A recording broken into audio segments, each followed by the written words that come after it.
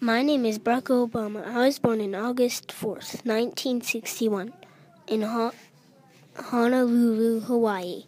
I played on a basketball team and did well in classes.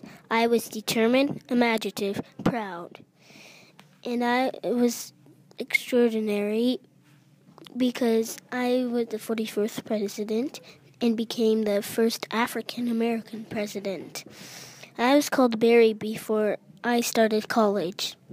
I have eight half brothers and sisters, and I was a lawyer and taught law classes.